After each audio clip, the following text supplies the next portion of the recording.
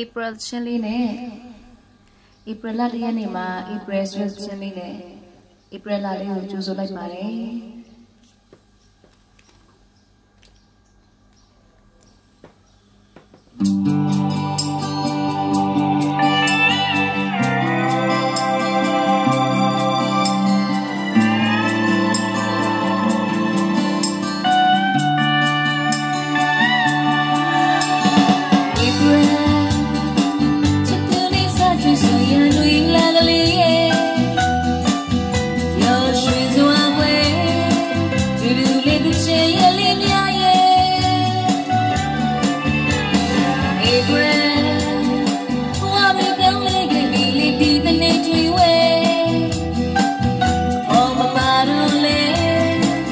break, break,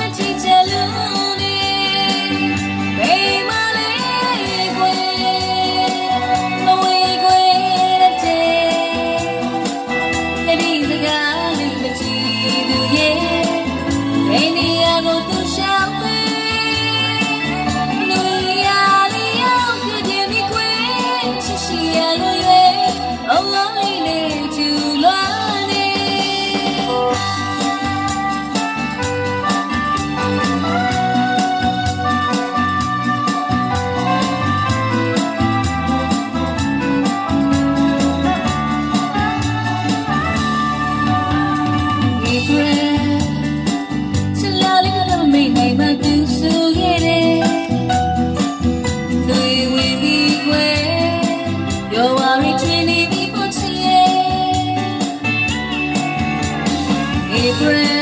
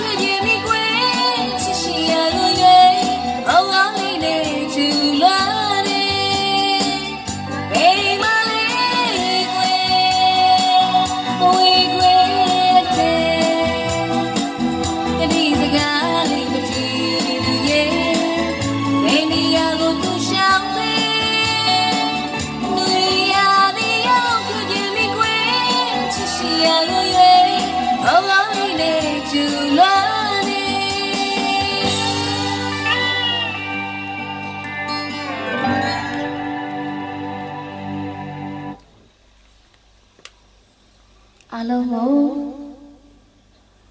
ဧပြီလ1ရက်နေ့မှာ2020ခုနှစ်ဧပြီလ1ရက်နေ့မှာအားလုံးကိုနှုတ်ဆက်ချင်ပါတယ်အားလုံးပဲဘေးအန္တရာယ်ပေါင်းမှခွင့်ကြပါစေ thank you ပါ